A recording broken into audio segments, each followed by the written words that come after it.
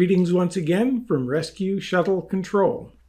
This is day 15, and uh, as usual, every fifth day we step aside from our usual learning curriculum and have a, a day off to let the creative juices flow a little bit and uh, practice applying some of the ideas that you've learned uh, during the last few sessions.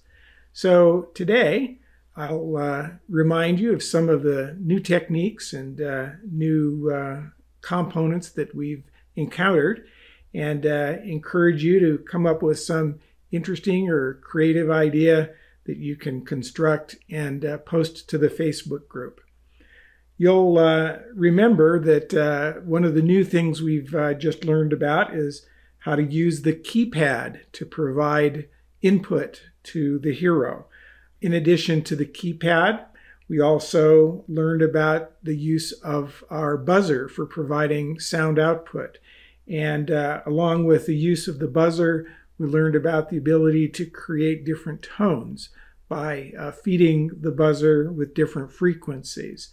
So uh, that was interesting and gave us uh, the ability to put those things together and uh, learn a little bit more about the programming logic necessary to create a primitive password checking system.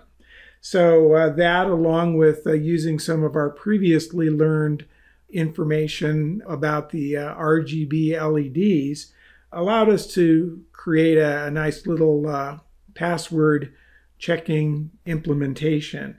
And that may provide you with some ideas for uh, a creative project of your own.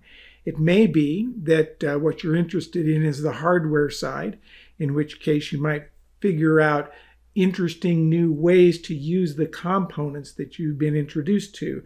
Perhaps uh, you'll figure out a way of creating different tones in a sequence that uh, plays a song or uh, does some other interesting thing with sound. On the other hand, it may be that uh, your interests are, are, more towards the programming logic side of things. Uh, one possibility that may be worth your consideration is the fact that while we do have a password system now, it's pretty crude and it's um, not particularly robust against being broken into by guessing because after all person who doesn't know the password can guess each character one at a time and keep trying until they guess the right character. And so it might be an interesting exercise for you to design some code that requires the user to enter all four characters in the password before they learn whether it was a success or a failure. And that would make it a little more immune to a brute force uh, entry by guessing.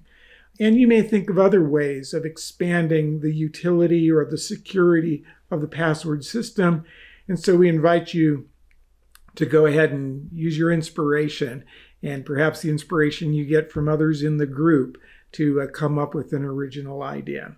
So uh, that's it for day 15.